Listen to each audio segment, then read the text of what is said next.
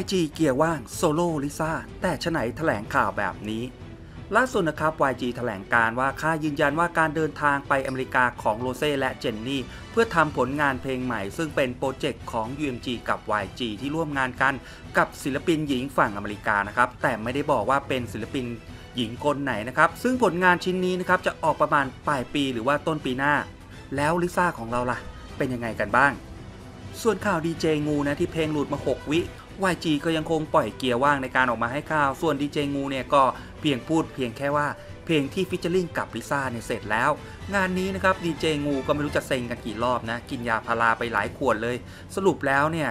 YG เนี่ยจะเอายังไงกันแน่ เล่นปล่อยเกียร์ว่างมาตลอดนะครับ และก่อนหน้านี้ไม่กี่วันนะ ก็มีชาวทวิตเตอร์นะ มาปล่อยคลิปเพลงลิซ่านะ ซึ่งมีเสียงคล้ายๆ กับน้องลิซ่ากำลังร้องเพลงอยู่ อันนี้ก็หาที่มาไม่ได้นะว่ามีใครมาปล่อย แต่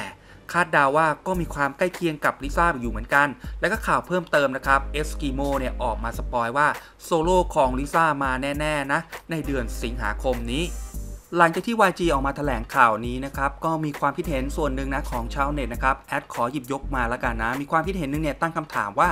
โลเซ่เจนนี่เนี่ยค่ายืนยันเดินทางไปอเมริกาเพื่อทำผลงานเพลงใหม่ แล้วลิซ่าล่ะไม่มีแม้แต่วี่แวว ทั้งที่ดีเจงูเนี่ยออกมาสปอยต้องหลายหนแล้ว แต่ทางค่าย YG ไม่เห็นจะออกมาแถลงการอะไรเลย ผิดกับข่าวล่าสุดนะ และเจ้าตัวเนี่ยคนที่คอมเมนต์ก็บอกว่ารู้สึกน้อยใจมากๆเลย โดยมีความคิดเห็นนี้นะเขาบอกว่าเนี่ยมีความรู้สึกได้ว่าเนี่ยไปเถอะลูกไปอยู่ที่ที่เขาให้ใจเราดีกว่า อย่าไปอยู่กับคนที่เขาหาประโยชน์อย่างเดียว ชื่อที่จดมันไว้เนี่ยก็ไม่ต้องไปเอาเปลี่ยนชื่อใหม่ เดี๋ยวแม่เนี่ยจะ trend tag ดันเทรนให้คนรู้จักแหละ ด้วยความคิดเห็นนี้เนี่ยน่าจะตรงใจใครหลาย ๆ คนนะก็ลองวิเคราะห์กันดูแล้วกันนะจีซูเนี่ยยังโปรโมทดีกว่า YG ดีกว่าร้อยเท่าพันเท่า ลิซเนี่ยยังโปรโมทพี่จีซูได้ดีกว่าค่ายเฮียนี่อีก ตอนช่วงลิลิฟิล์มเนี่ยคือน่ารักมาก คลิป 3 นาทีเนี่ยมีพี่ไปแล้ว 4 นาที ไม่โอเคกับ YG เลย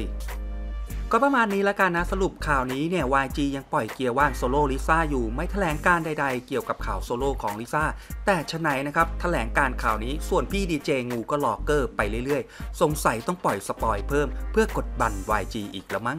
มีความคิดเห็นอย่างไรอย่าลืมมาคอมเมนต์ใต้คลิปก่อนจบคลิปอย่าลืมกดติดตามและกดกระดิ่ง